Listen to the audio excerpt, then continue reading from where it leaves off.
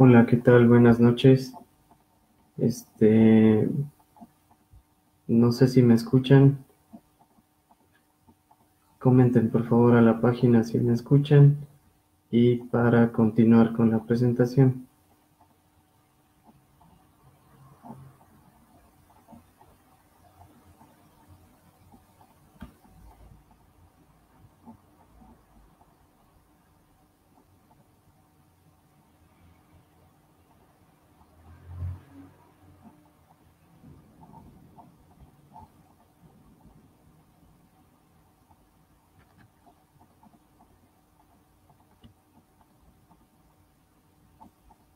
Bueno.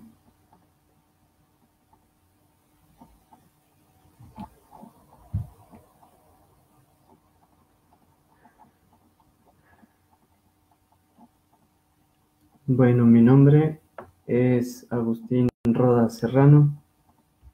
Yo soy médico general, yo eh, estudié en la Universidad de Cuenca.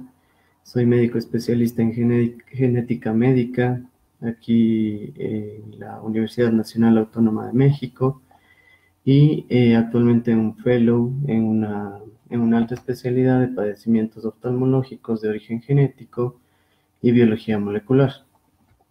El tema de hoy es sumamente relevante debido a que es el objetivo, digamos, ideal en, en primer mundo para el asesoramiento genético. Eh, el asesoramiento genético, de hecho, para cualquier genetista es el objetivo final.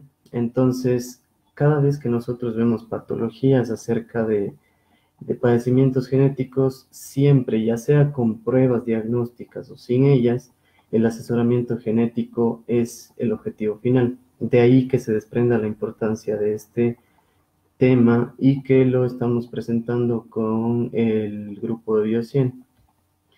Eh, les quería comentar también que es importante que ahorita eh, todos los, todos eh, tratemos de no tomar nota porque me voy a ir súper rápido. Hay muchas cuestiones éticas, bioéticas que vamos a mencionar, más que nada con ejemplos, por lo que casi no van a alcanzar a escribir nada. El video finalmente quedará grabado en la página de tal forma que es mejor que tengan nada más pongan atención a, las, a los ejemplos que vamos a mencionar. Muy bien. Entonces, primero hay que mencionar a este eh, ente de la, de la, historia médica, Hipócrates. Eh, si es que ustedes se acuerdan, hay un montón de, de, de estatutos que se que se, que se dicen o que se juran cuando nos graduamos de médicos. Entonces, este estatuto eh, fue modificado por última vez en 1948, en donde es importante saber que, bueno, cada médico cuando vamos a ejercer ya la profesión, eh, necesitamos tener en claro de qué se trata este juramento. ¿Y qué nos dice el último que se modificó? ya hace más de 50 años que la salud y la vida del enfermo serán la primera de mis preocupaciones, que tengo que respetar lo que se haya confiado en mí, eso habla de confidencialidad, no permitiré que entre mi deber y mi paciente intervengan temas de religión, nacionalidad, etnia o género, eso habla de evitar la discriminación a todo, a todo, de ningún tipo, ¿no? y que también el respeto por la vida humana desde su concepción y aún bajo amenazas, no admitiré utilizar mis conocimientos médicos contra las leyes de la humanidad. Esto hay que hablar claramente sobre el primum non nocere o el primero no hacer daño, ¿no? Ok.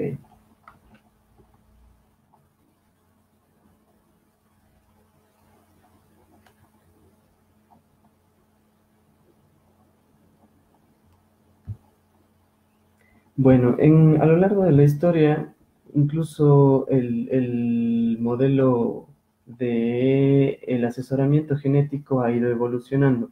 Inicialmente se hablaba de la, del modelo eugenésico y, de hecho este, todo esto nació por la significancia de esta palabra que significaba bien nacido o buena reproducción.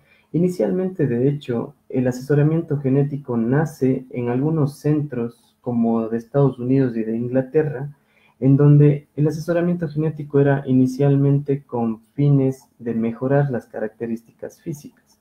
Eso quiere decir que eh, recién nacidos que tenían algún problema dismorfológico como tal, no eran aceptados en algunas familias y de ahí nace el asesoramiento genético. De hecho, en Minneapolis apenas nace el asesoramiento genético con un contexto ya patológico, no de características físicas, sino ya patológico. Se fijaban todavía así en el color de ojos, en el color de la piel y con también cierto tinte genético con temas de gemelaridad. Y también este fue importante por, porque algunos padres o parejas que no podían tener hijos también se fijaban muchos en, en los hijos que sean sanos o enfermos o que tengan ciertas características clínicas o más bien ciertas características físicas, que sean sanos y que sean bonitos, en otras palabras, ¿no? Entonces de ahí nace el asesoramiento genético. Es importante también reconocer que en un momento de la historia, este señor que le ven en la, en la imagen, Hitler, fue uno de los que promovió esto de las características físicas. En un momento determinado también habló de la higiene racial, esto que pues no está nada admitido hoy en día, ¿no? Él lo que quiso es eliminar con las poblaciones autóctonas y eh, sembrar, digamos, de una manera eh, los genes europeos en todo el mundo, en este caso alemanes, ¿no? Y eso también pasó con muchas de nuestras poblaciones. Si nosotros mm, volteamos a ver en Sudamérica, existe en algunos países, como por ejemplo Uruguay, ellos son como, como vemos, ¿no? Son blancos, de color, eh, cabello de color claro, ojos, ojos claros también. Esto se debe a que muchas de las, de las etnias, eh, eh, por ejemplo, la etnia que la llaman, ¿no? La etnia charrúa, desapareció casi en un 100%. De hecho, se dice que los genes que se encuentran en algunos puntos de Uruguay son 95% europeos y un 5% genes autóctonos. Esto no se pudo hacer en muchas partes de Sudamérica, como por ejemplo Argentina, Brasil. Tampoco se pudo hacer en muchas eh, zonas como en Perú, Bolivia, en nuestro país, Ecuador, y aquí también en México, donde el mestizaje es lo que prima. De hecho, se considera por genética de poblaciones que el 50% de genes son genes europeos y un otro 50% son genes autóctonos. Ok, eh, también es importante mencionar en la historia que en algunos países de primer mundo como Canadá, Suiza y Finlandia se desarrollaron ciertas políticas. Ejemplo, las que vemos aquí en la diapositiva. Pacientes con retraso mental no tenían derecho a casarse. Algunos pacientes que tengan crisis convulsivas no tenían derecho a tener hijos. Eh, y, en ese caso se practicaban incluso cirugías profilácticas de esterilidad para que esta gente no perpetúe su especie, por llamarlo así. En otro país, por ejemplo, en Singapur, se desarrollan políticas de, en donde dice que si una persona tiene estudios universitarios y se va a juntar con otra que también tenga estudios universitarios, el gobierno les tienden a dar dinero o un premio por eso, ¿no? Eh, en cuanto a la historia también, en el 47 un personaje muy importante es Sheldon Reed, el mismo que acuña el término de consejo genético. Esto es importante que lo mencionemos aquí porque el consejo está mal llamado consejo genético debido a que esto tiene alguna implicación moral y direccional. Yo puedo dar un consejo a un amigo, a un conocido, sí puedo dar un consejo, pero le estoy prácticamente eh, obligando, no obligando, pero le estoy poniendo sobre, bajo la mesa, una decisión que es mía.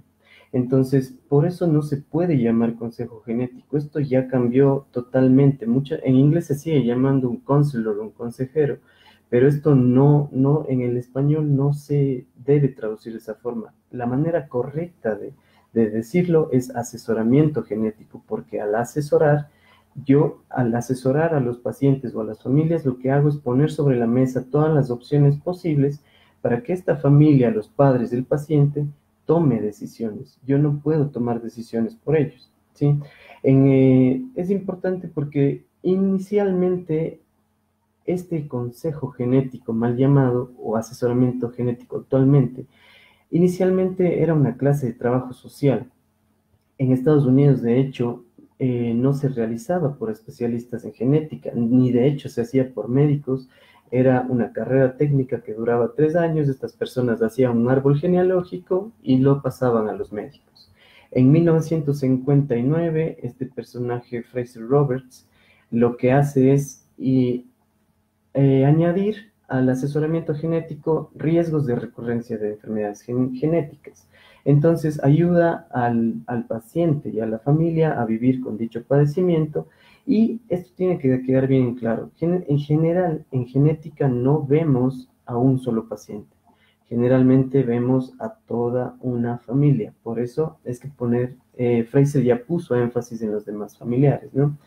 Y aquí les puse algo muy importante. Si ustedes van a internet o buscan libros sobre asesoramiento genético, en realidad casi no hay nada al respecto, más que hablar de formas de herencia y riesgos de recurrencia.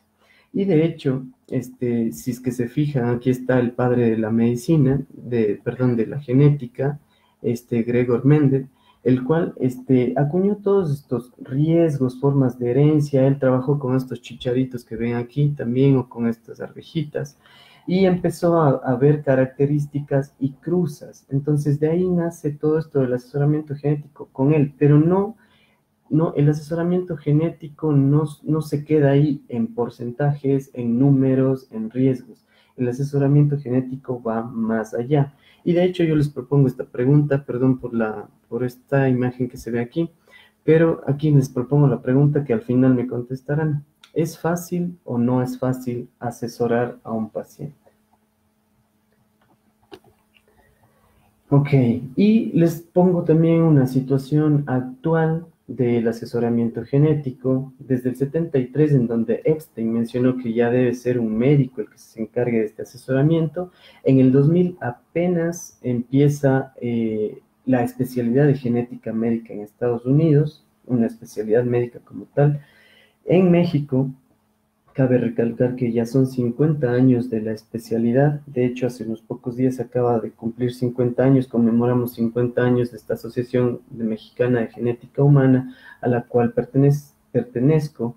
Y eh, es también importante saber que en países incluso de primer mundo como España, no existe la especialidad de genética médica como tal, sino una maestría en asesoramiento genético, al igual que eh, tenemos que mencionar que en Ecuador no hay una especialidad como tal, están surgiendo unas maestrías en genética y genómica, que lo importante sería ver el pensum de estudio, si es que eh, este pensum de estudio incluye un manejo o un contacto con los pacientes, porque el asesor genético es muy importante que tenga un carácter de médico y, si va a hacer especialidad, sobre todo ese contacto o la experiencia que tenga con los pacientes. Muy bien. a lo largo de la historia hay muchos libros que mencionan el asesoramiento genético. De hecho, esta es un, este es un libro que habla de una familia que se llama la familia Calica, que ya tiene cierto tiempo, si se dan cuenta. Eh, es importante, ya son 100 años de eso y desde esa época ya se estaba hablando del asesoramiento genético. Ustedes me van a preguntar de qué, de qué significan estos dibujos. Miren, este libro habla de un general. Generalmente este tipo de, rangos militares estaban se codeaban con cierto tipo de gente, de alta sociedad, etcétera, ¿no? Entonces este general tenía una familia formal con su esposa formal y eh, describen que este general tuvo y con esa mujer o con su esposa tuvo hijos pues que eran fructuosos, ¿no? Para la sociedad, tuvo hijos médicos, hijos jueces, pero en cuestiones de guerra, en cuestiones de, abandonar la casa, este general abusó de una mujer que tenía déficit intelectual. Y de ahí surgen hijos que los, los mencionan, ¿no? El libro como hijos antisociales. Entonces este libro habla de que ya hay una herencia del déficit intelectual que ya incluso que la moral y la decencia ya se heredan. Pero obviamente aquí hay que reconocer que la decencia y la moral pues no es eh, de, la, de la mujer con déficit intelectual, ¿no? Sino por la parte de este famoso general. Ok. Eh, entonces, ya poniéndonos en contexto y en la historia, tenemos que reconocer que el asesoramiento genético tiene, como cualquier otra situación en medicina, una definición, un concepto.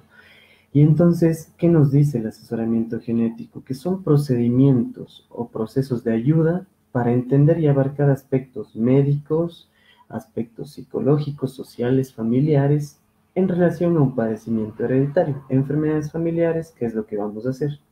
Entonces, al desglosar cuáles son los aspectos médicos, obviamente como genetistas vamos a ver enfermedades, vamos a caracterizar la clínica, vamos a hablar de las causas, la evolución, consecuencias, complicaciones de la misma, probabilidad de presentarla o de heredarla en las siguientes generaciones. De aquí se habla de diferentes modelos de herencia y esto aplica tanto para un paciente como para los familiares. ¿En qué aspectos psicológicos familiares vamos a intervenir?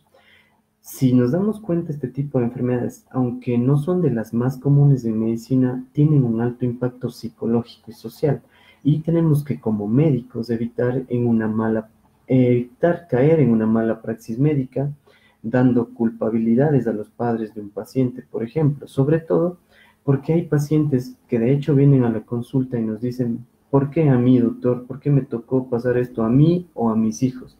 Entonces, hay que encontrar la forma adecuada de explicar un mecanismo fisiopatológico de una enfermedad y también mencionar que es algo que nos pudo haber pasado a cualquiera, de hecho, porque todos estamos en riesgo.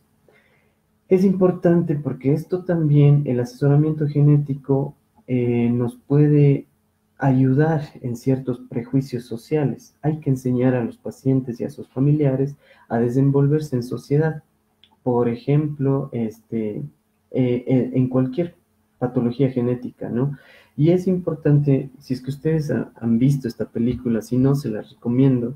Este es un paciente con eh, enfermedad o síndrome de Treacher Collins, el mismo que en esta película nos muestran todo lo que tiene que pasar un paciente o este niño y su familia frente a la sociedad.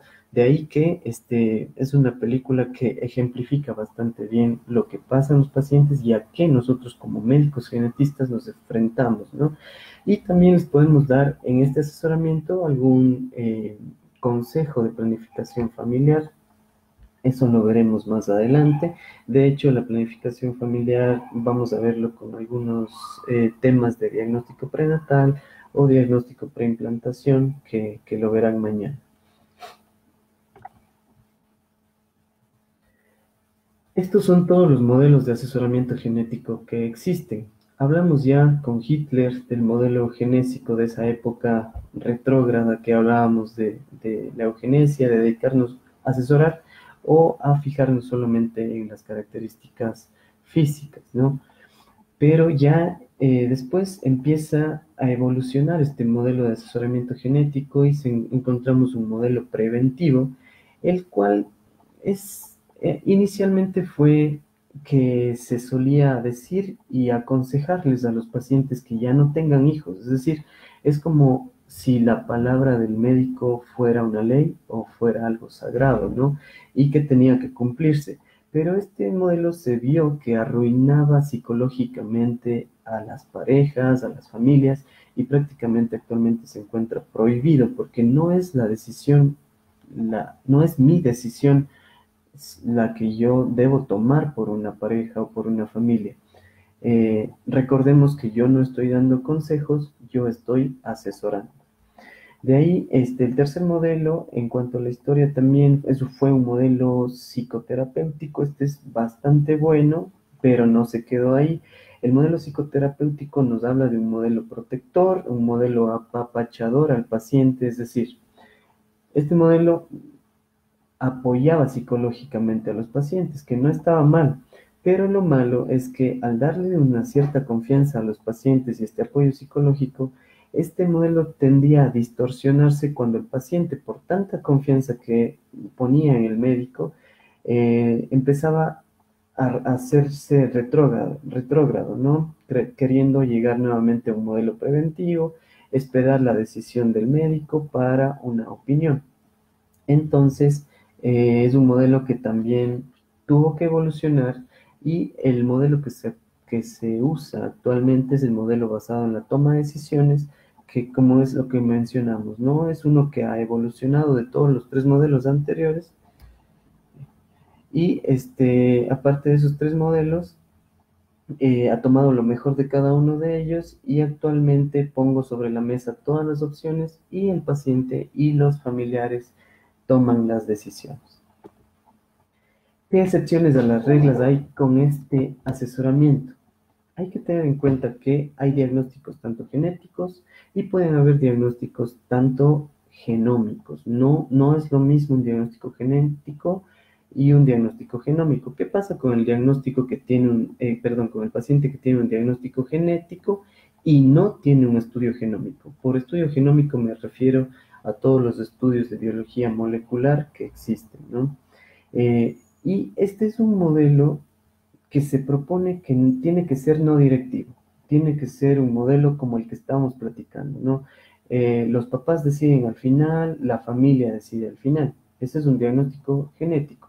Un ejemplo puede ser un paciente con trisomía 21 o síndrome de Down. Entonces yo no puedo obligar al paciente a realizarse un estudio y si no hay un estudio, el asesoramiento genético sigue siendo el mismo. Entonces no va a cambiar. Pero cuando el paciente ya aceptó hacerse un estudio, sobre todo un estudio genómico, eh, con un consentimiento informado debido, que involucra explicar lo bueno, lo malo, las desventajas del estudio.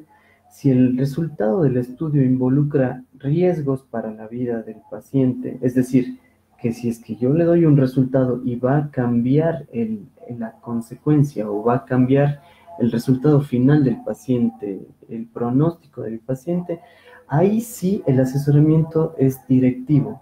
Ejemplos, cirugías profilácticas en cáncer. Si yo a una niña de 15 años de edad, 18 años de edad, le hago un estudio genético genómico de biología molecular y tiene una alteración genética que dice que va en algún momento de la vida a desarrollar cáncer, yo tengo que dirigir mi asesoramiento y decirle a la familia, proponerles cirugías profilácticas, por ejemplo. De esto van a hablar mucho más a detalle el viernes, pero es importante que lo tengamos en cuenta.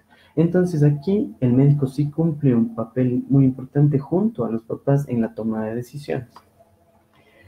Eh, ¿Cuáles son los objetivos importantes entonces del asesoramiento genético?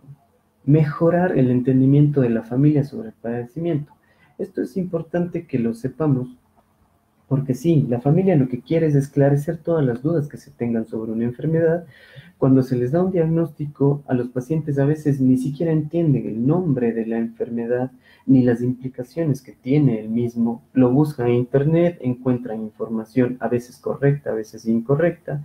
Es por eso que muchos profesionales recomiendan que desde la época del diagnóstico inicial de un padecimiento genético a continuar con el asesoramiento genético que tiene que ser en varias citas, debe pasar un periodo por lo menos de seis semanas.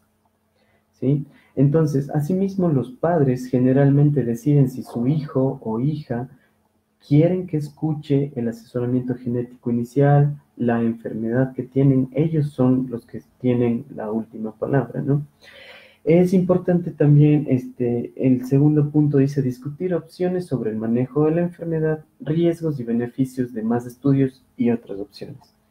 El, el genetista generalmente es un médico interconsultado. Eso quiere decir que, pues, mm, generalmente un niño, una familia, no va a llegar directamente al genetista.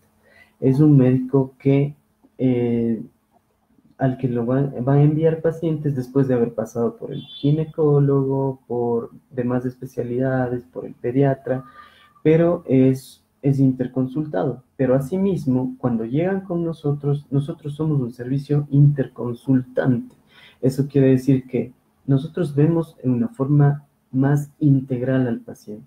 Si vemos ciertos hallazgos clínicos que nos llaman la atención, queremos a fuerza descartar todo lo que está descrito para un síndrome dado. Entonces somos interconsultantes, ¿no? Em, se sugiere además que estos eh, estudios que nosotros solicitamos eh, sean de acuerdo a la entidad clínica que se trate, pero la decisión final va a ser de los padres. Yo no puedo obligar a nadie, a ningunos padres ni al propio paciente a que se haga estudios que ellos no quieren, ¿no? Nosotros nada más ponemos sobre la mesa las opciones. Y eh, el tercer punto habla de ayudar al paciente y su familia a identificar herramientas psicosociales. Eso es importante porque hay veces que se escapa ya de nuestras manos. Nosotros tenemos como médicos, en algún momento de la carrera llevamos psicología, psicopatología, pero en algún momento esto se queda eh, corto y necesitamos la, la ayuda de otros servicios como psicología, por ejemplo, y en algunos casos hasta de psiquiatría o psiquiatría. Eh, y el último punto dice reducir la ansiedad de la familia. Si es cierto, vamos a darle alivio emocional a los padres sobre todo, porque tenemos que tener en cuenta que una familia que inicialmente es funcional se puede volver disfuncional. Esto debido a qué? A que, como dijimos, son enfermedades que tienen un alto impacto social, por lo tanto, la misma familia como núcleo de la sociedad padece de esta enfermedad y el, y el implicado o el enfermo requiere de mucha mayor atención. Si en familias, entre comillas, funcionales hay eh, envidia, digamos así, entre hijos y padres eh, y entre hermanos, no se diga en familias que tienen este tipo de patologías. Las indicaciones para el asesoramiento genético son muy puntuales. Eh, es importante conocer eh, historia de hijos previos con malformaciones congénitas o discapacidad intelectual, antecedentes de la familia que ya tenga una enfermedad hereditaria o genética. Es importante emplear el asesoramiento genético eh, antes de que nazca un bebé, cuando apenas se embarazan los padres, cuando hay edad materna avanzada, cuando hay casos de consanguinidad, sobre todo para enfermedades autosómicas recesivas, exposición a teratógenos, cualquier agente físico, químico, biológico que pueda afectar el embarazo, que eh, termina y, consecuentemente en algunas malformaciones congénitas, abortos de repetición mal llamadas abortadoras habituales, el término correcto es pérdidas gestacionales recurrentes o parejas con infertilidad. Cuando hay casos de diagnóstico reciente de alguna malformación o enfermedad genética en la familia o el propio paciente, y también antes de realizar cualquier evaluación genética y después de recibir los resultados. Esto nosotros lo conocemos como asesoramiento pre-test y post-test en el caso de que este, se acepte ¿no? la prueba genética. Hay cinco principios muy importantes que se relacionan con el asesoramiento genético que de hecho se relacionan con la práctica médica profesional habitual. Entonces, lo importante a destacar aquí son cinco puntos importantísimos que son la información genética. Tratamos como genetistas de proporcionar información veraz, actualizada y basada en la evidencia les vamos a hablar a los pacientes si es cierto de algunos riesgos en términos teóricos y lo que se recomienda es no hablarles a los pacientes de tienes un riesgo alto, un riesgo intermedio o riesgo moderado. Hay que hablarles con números y que ellos decidan qué es para ellos altos, qué es para ellos riesgos bajos, ¿no? De hecho, este, como ejemplo podemos decir que algunas enfermedades multifactoriales que tienen que ver el medio ambiente hay algunas personas que con un riesgo del 3% ellos dicen, no, yo no quiero tener más hijos porque para mí un 3% es muy alto de que se vuelva a presentar en algún hijo. ¿no? Y hay otras personas de que con riesgos de enfermedades dominantes como del 50%, ellos se arriesgan y dicen, no, yo sí quiero tener otro hijo y a lo mejor ese 50% de probabilidades de que tengo de tener un hijo sano vale la pena y se arriesgan, ¿no? Entonces, la decisión final de los papás. Eh, la relación médico-paciente es importante, la vamos a retomar en un momento, al igual que la autonomía, pero importante conocer sobre todo este, este ciclo que vemos aquí, los principios bioéticos que se relacionan con la autonomía del paciente, ¿no? Porque es un ir y venir de todo un contexto cíclico por ejemplo, la autonomía que tiene que ser del paciente, ¿no? Yo no me puedo meter con las decisiones del paciente. En un momento dado se da la relación médico-paciente y en este caso debe haber beneficio, tanto para el médico como el paciente, sino el médico para que estudió y el paciente para que llegó donde ese médico, ¿no?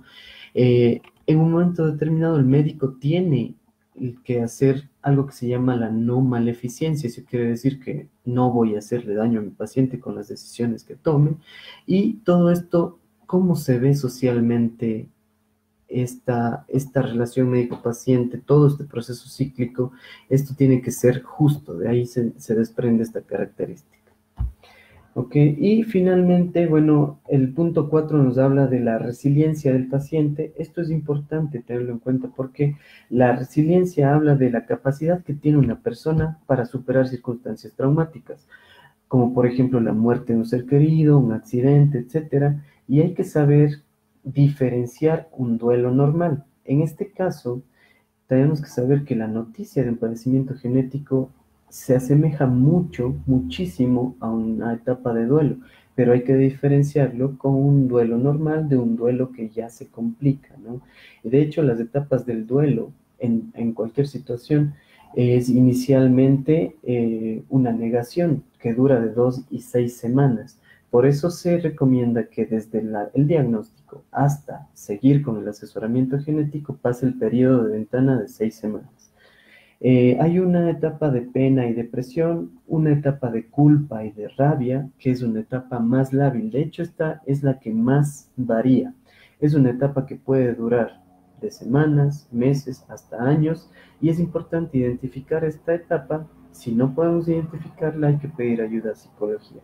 Después viene una etapa que es de aceptación, y después de esto, ahora sí se puede empezar con un asesoramiento genético que vamos a ver que sí rinde frutos. Ok, entonces continuando con eh, la relación médico-paciente que les dije que íbamos a retomar, eh, es importante saber que es una relación interpersonal y el proceso de comunicación es muy importante. Inicialmente este, esta relación era un modelo paternalista, lo que ya habíamos visto, ¿no? Órdenes del médico, Después, en un proceso bidireccional, se empezaron a tomar en cuenta las, las, decisiones del paciente y actualmente se toma una, una, decisión de acuerdo a lo que se discute entre el, entre el paciente y el médico. Y también es importantísimo esto de la autonomía. Yo no me puedo enojar con mi paciente porque haya tomado una decisión o algo que, que no le recomendé hacer. Entonces, las decisiones son de los pacientes, buenas o malas, decisiones que hayan tomado, pero son válidas. Y lo importante aquí es generar empatía con el paciente para que el paciente tenga esa confianza de acercarse a mí y decir, eh, doctor, eh, eh, hice mal. Ejemplo, ¿no? Una pareja que tuvo ya antecedentes de un paciente con una enfermedad genética que se volvió a embarazar. Entonces, en ese momento yo no me puedo enojar con este paciente, lo que yo tengo que hacer es tratar de sobrellevar la situación y apoyarle de todas las formas en cuanto a las decisiones que ellos tomaron. ¿sí? Em, dos términos súper importantes en el asesoramiento genético, la transferencia y la contratransferencia. La transferencia hace referencia a todo lo que el paciente o el familiar del paciente le expresa a mí como médico, ¿no? Y me dice todo lo que está pasando, todo lo que está viviendo, incluso de forma consciente o inconsciente, porque no necesariamente tiene que emplear palabras para ello. Yo puedo, en la consulta de genética se pueden ver la actitud de los pacientes, yo puedo ver la postura del paciente o de los familiares en el consultorio, a veces actitudes desafiantes, por otro lado, hay pacientes que son tímidos, pero estas personas tímidas a veces escuchan o captan más de lo que uno puede pensar. La contratransferencia, por otra parte, es, yo lo considero como la respuesta o los métodos de defensa del médico a esos, eh, a todos esos comentarios que me han hecho mis pacientes o sus familiares. Y de esa forma yo tengo que evitar que este tipo de comentarios me afecten a mí personalmente. De hecho, este, he tenido experiencia con este tipo de situaciones. Tengo compañeras genetistas, mujeres, que son un poquito más susceptibles siempre y que con ciertas situaciones de nuestros pacientes se ponen a llorar junto con el paciente o con las familias, pero es normal, tampoco somos máquinas asensibles para no, no involucrarnos de cierta forma, pero hay que poner límites a esto. Ok, los aspectos legales también es algo importante que debemos mencionar. Esto sobre todo porque el asesoramiento genético puede influir en ciertas decisiones, como por ejemplo, en la descendencia es muy importante porque el paciente toma decisiones de acuerdo a todo lo que le pusimos en la mesa. Entonces, si le pusimos riesgos y el paciente considera un riesgo alto, elige si quiere o no más embarazos. ¿Puede el asesoramiento interrumpir el embarazo? Eso depende de cada país y de las leyes instauradas en cada uno. El tema del aborto sigue siendo algo muy controversial, pero los padres son los que deciden en realidad. Yo puedo este, hablar de la situación en México, son cinco años que he estado aquí, por lo tanto este, conozco un poco este tema en este país y sé que, por ejemplo, no en todo el país se puede abortar, por ejemplo. Hay algunos... Eh, estados en los que está permitido el aborto y en estos en donde está permitido el aborto tiene que ser hasta la semana 20. Si es que es después de la semana 20 por cualquier razón, incluso razones genéticas, muchas de las veces ya no se puede abortar. Eh, cirugías profilácticas, ya hablábamos antes de cirugías presintomáticas de cáncer, por ejemplo. Eh, la educación es importante. ¿Por qué?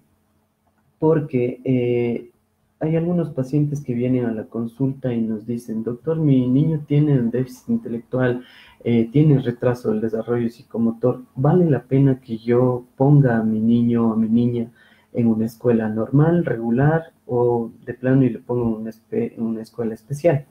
Entonces, como ejemplo, los niños con síndrome de Down, nosotros nunca eh, promovemos que los lleven a escuelas especiales, por ejemplo. Eh, porque como cualquier otro niño, estos niños aprenden por imitación. Entonces, si imitan a niños sanos, el pronóstico y el desarrollo psicomotor generalmente es mejor.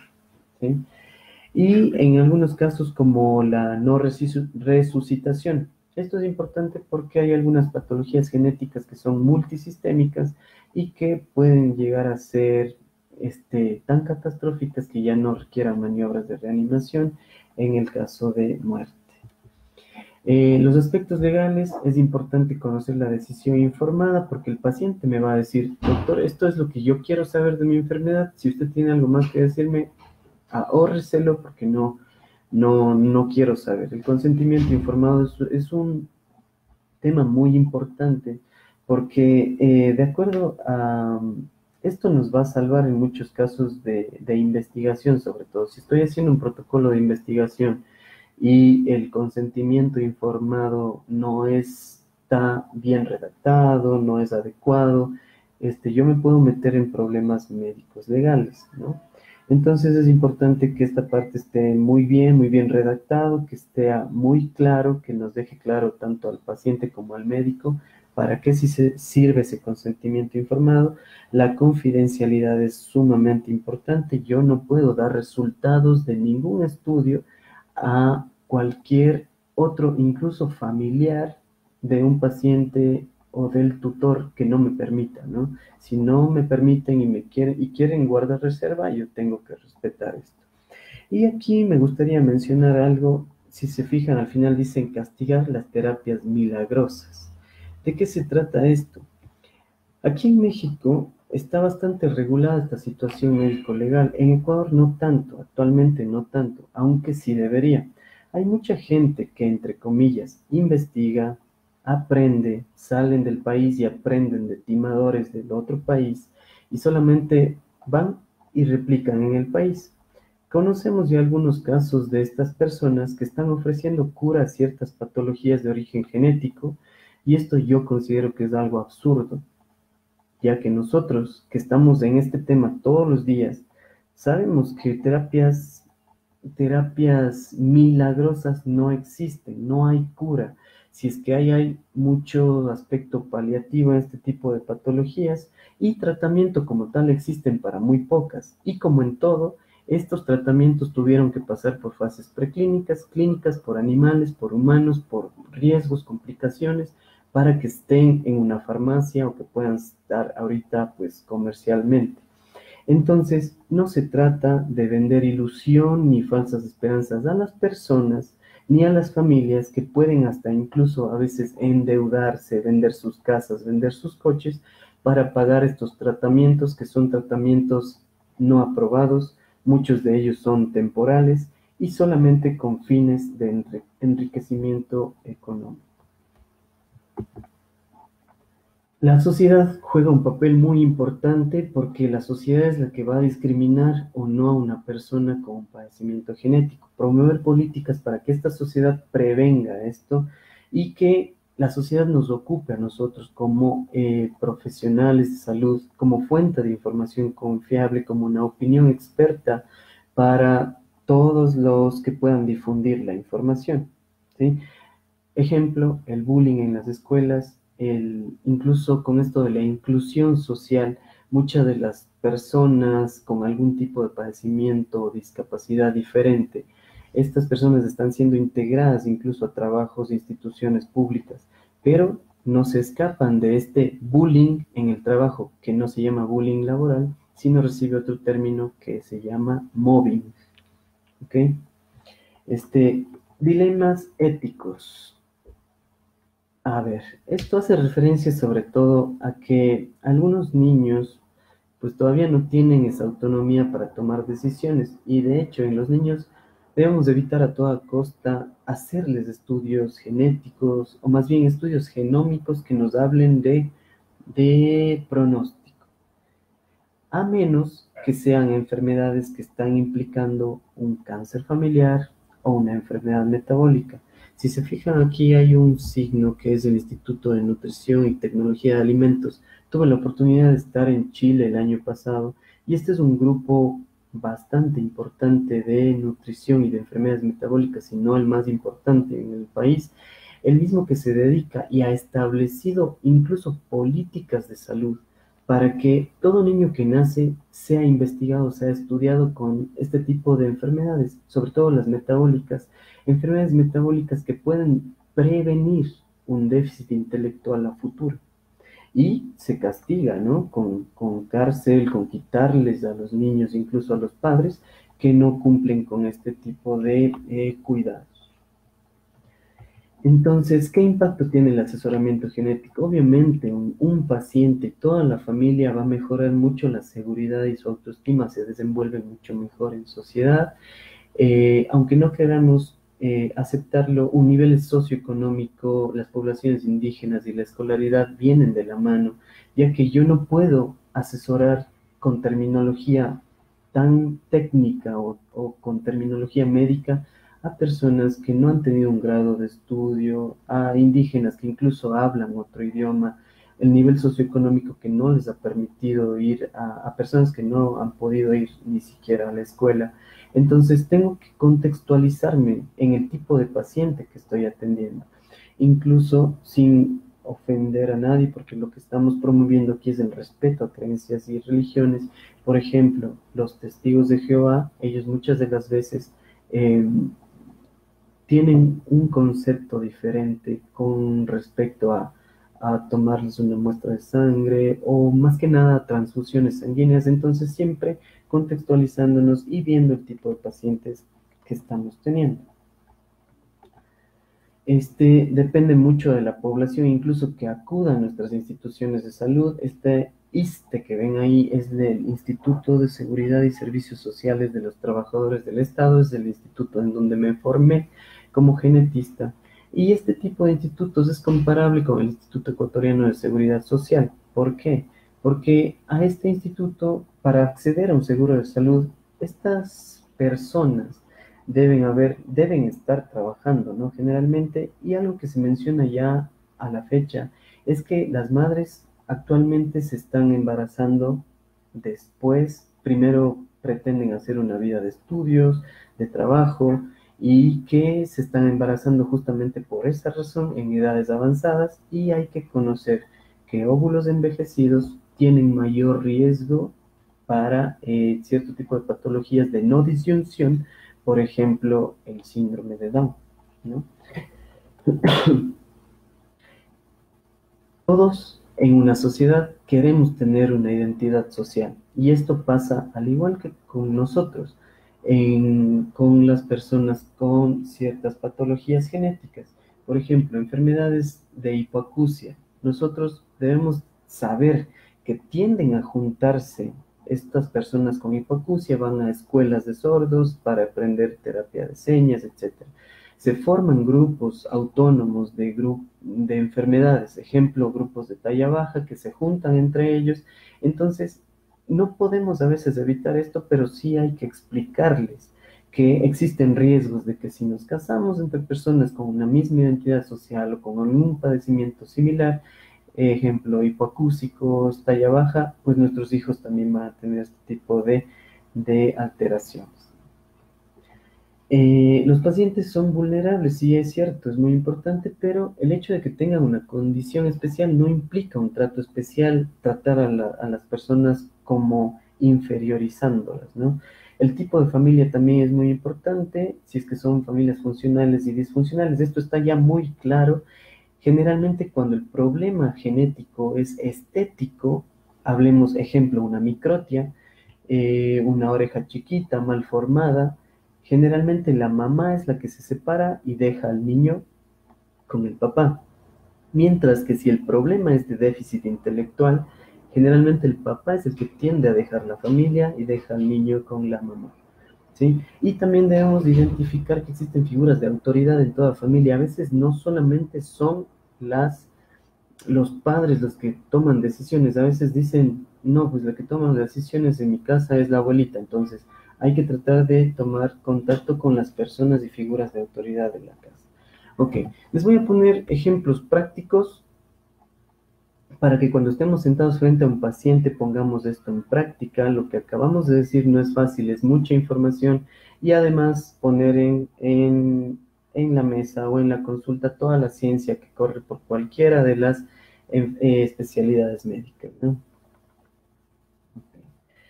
Síndrome de Down es un síndrome de lo más común que tenemos, es de lo más frecuente, uno de cada 700 recién nacidos vivos tienen, tienen síndrome de Down y ustedes se presenten, pues cualquier persona en realidad puede identificar a un niño con síndrome de Down, a veces no necesita ni ser médico, pero ¿para qué se piden este tipo de estudios? ¿Para qué un asesoramiento genético en este tipo de pacientes? ¿Por qué? Porque un estudio nos va a identificar los famosos mosaicos. Entonces no se trata de que cualquier médico no genetista pida un cariotipo, pida estudios y luego no lo sepa interpretar y no lo sepa este, referir a los pacientes, no les sepa explicar lo que estamos encontrando. Por ejemplo, un mosaico quiere decir que no todas las células de un niño están afectadas, pero no es sinónimo, es algo muy paradójico. El mosaico no quiere decir que tiene un mejor pronóstico. Incluso hay mosaicos que están mayormente afectados que los niños tienen todas sus células afectadas. Es importantísimo los estudios para identificar un mecanismo de producción. ¿Por qué? De la enfermedad. ¿Por qué? Porque si se dan cuenta, este, tenemos que dar, eh, ver si es que esta trisomía 21 o esta no disyunción se formó por una trisomía libre o regular. Este generalmente no recurre en más hijos, mientras que una translocación, un padre portador de una translocación, vamos a ver ahorita qué es una translocación, generalmente tienen riesgo de que se vuelva a presentar. Y una cosa muy importante, el síndrome de Down tiene en un 95% de los casos se explica por alteraciones en este proceso, que lo vimos en la escuela, en el colegio, la volvimos a ver en los primeros años de medicina, está en la meiosis 1 Ok, entonces hablando de em, justamente de este síndrome de Down por alguna translocación robertsoniana que se llaman, translocación robertsoniana quiere decir que están implicados los cromosomas 13, 14, 15, 21 o 22. Es lo único que quiere decir. Y en este caso les pongo el ejemplo de una translocación 14-21. Este es un, un padre portador de una translocación. ¿Eso qué quiere decir? Que Normalmente este cromosoma debería estar acá abajo. Yo tengo dos cromosomas 14 y dos cromosomas 21. Un padre, ¿no? Un padre o una madre. Pero lo malo es que estos cromosomas son muy viscosos entre sí. Pueden haber este fenómeno que se llama translocación y lo importante de esto, porque esto lo van a ver el día jueves con mayor detalle, es saber, no se ve bien aquí, pero saber que un 50% de todos los niños que lleguen a, a implantarse en el útero, un 50% se van a abortar. Y el otro 50%, tomándolo como el 100%, el 33% serán pacientes normales, un 33% serán portadores, igual que el papá con la translocación, portador, y un 33% tendrán este, eh, trisomía 21 o síndrome de Down.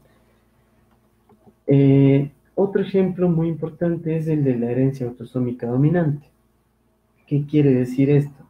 En términos generales, sé que hay personas no médicas que están viendo este, este webinar, en donde es importante saber que para que una patología genética de tipo autosómico dominante se presente, primero debemos saber qué significa autosómico dominante.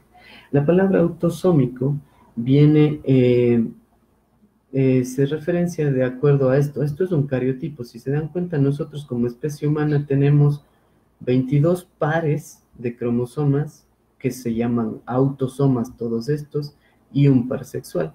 Entonces los hombres seremos 46XY y las mujeres aquí no tendrán un Y, sino tendrán un X. Entonces son 46XX. Como mencioné, estos 22 se llaman autosomas, de ahí la palabra autosómica porque los genes implicados en ciertas patologías están, están ubicados en cualquiera de estos autosomas. De ahí la palabra autosómica. Y dominante quiere decir que para que una patología se presente, necesito solamente de una copia que esté afectada. Entonces, si se fijan en la imagen, en rojito, un alelo o una copia está afectada, paciente con enfermedad, paciente con enfermedad, paciente con enfermedad solo teniendo una copia. Y a esto hace referencia de que podemos, podemos tener por cada embarazo, esto es importantísimo porque en el asesoramiento genético se habla de que tiene que ser en cada embarazo. A veces nos dicen los pacientes, ah, esto quiere decir entonces que de cuatro hijos que voy a tener, dos van a tener la patología. No, eso es mentira. De cada embarazo que puede tener esta pareja se juegan estas, estos riesgos. 50% de que padezcan la enfermedad o u otro 50% de que sean sanos, ¿no? Es importante reconocer árboles genealógicos, estas son, bueno, ya lo vieron ayer, no voy a ahondar, pero son características de los árboles genealógicos autosómicos dominantes. Eh, un ejemplo práctico de una patología con herencia autosómica dominante, nosotros la reconocemos clínicamente, la neurofibromatosis tipo 1. El gen implicado es la neurofibromina 1, tiene un patrón de herencia autosómica dominante y tienen criterios clínicos que muchos de nosotros ya los conocemos. En el caso de la herencia autosómica recesiva, el ejemplo es lo mismo. Autosómico porque está en, en autosomas eh, recesiva quiere decir que aquí sí necesito de dos copias afectadas para que se presente la enfermedad. Entonces, si se fijan, esto es por cada embarazo también, el 25% de probabilidades de que por cada embarazo una persona tenga este, una patología con este patrón de herencia y generalmente los padres son portadores, pero como tienen una copia buena y una mala, no se presenta la enfermedad en los papás. Eso, y este tipo de patologías generalmente se presentan por consanguinidad, eso quiere decir casarse entre familiares, o endogamia, que seamos de un grupo poblacional muy reducido y que seamos oriundos de un mismo lugar o de un mismo pueblo muy cercano. Y un tipo y un ejemplo muy importante lo vemos en, Ecuador. De hecho, este, sugerimos dentro del grupo de Biocien que se toque este tema porque está muy diagnosticado, el síndrome de Laron, que tiene un gen que se afecta, que es el receptor de la hormona de crecimiento, y de hecho, clínicamente los, los, los reconocemos por talla baja postnatal, eh, tienen retraso de la edad ósea, su voz es muy aguda, y de hecho, un dato muy importante, Ecuador tiene 200 de los 350 casos de síndrome de Larón. Inicialmente se empezó a ver al sur de Ecuador, en Piñas, en Balsas, eso estamos hablando en la provincia del Oro, pero se ha, se ha estado diseminando o expandiendo, ya se conocen casos en el sur del Cañar e incluso en el norte. Volvemos a lo mismo, las causas con sanguinidad y endogamia. ¿Por qué? Porque por su identidad social se están juntando entre ellos mismos y se está propagando la enfermedad.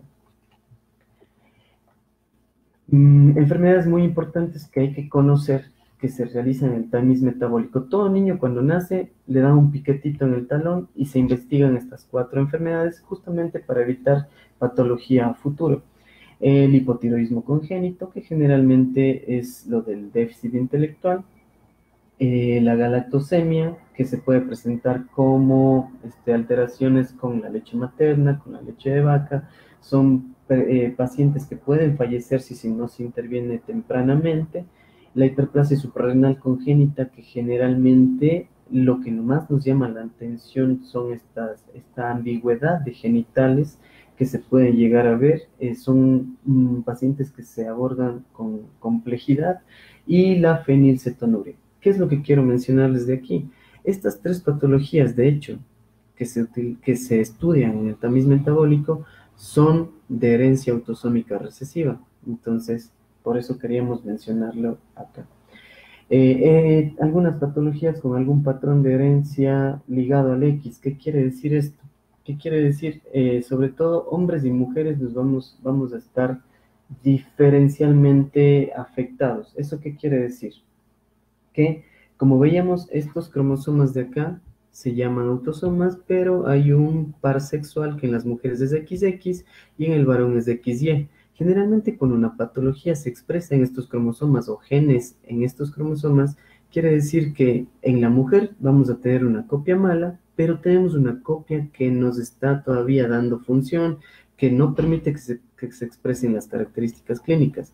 Por eso los hombres somos los que más nos afectamos o nos vemos afectados en este tipo de patologías porque una mutación en un cromosoma X no hay otro cromosoma X que nos supla esa necesidad, tenemos un Y y se presentan las enfermedades. Ejemplo de esta patología, la distrofia muscular de Duchenne, una enfermedad que se afecta al músculo esquelético, corazón, diafragma y sistema nervioso, causado por mutaciones en el, en el gen de la distrofina que está, como podemos ver, en el cromosoma X y no es nada rara, una de 3.500 neonatos, por ejemplo. Entonces, es importante poder asesorar a estas familias. O yo los invito a que ustedes puedan asesorar a una familia en la que sepamos que a fuerza el cromosoma X malito que llegó a este niño confinado en una silla de ruedas a su pubertad, a su adolescencia, sabemos que la mamá fue la portadora de la enfermedad que no la, no la está expresando y que en el niño se expresó y que, eh, pues como les digo, se confina a una silla de ruedas y que también, aparte de ello, este, van a morir como en la tercera década de la vida. Entonces, eso, decirle de una forma adecuada a una familia es el reto y es lo más difícil, ¿no? Entonces, me pueden contestar la pregunta, ¿es fácil asesorar? ¿Es fácil dar un asesoramiento genético? Yo, como especialista en genética, diría que no. Yo supongo que ahorita todos ustedes se encuentran como ven la imagen a Homero lleno de información, a punto de explotar sus sus neuronas, pero en el caso de que esto se complique, por favor busquen a su genetista de confianza. Les recuerdo, yo soy Agustín Esteban Roda Serrano, soy médico genetista y con alta especialidad en padecimientos oftalmológicos y biología molecular. Me dio mucho gusto compartir con todo el, el, el, auditorio. Sabemos que no solamente hay médicos, incluso están familiares pendientes de, de toda esta plática. Les mando un saludo y por mi parte es todo. Muchas gracias.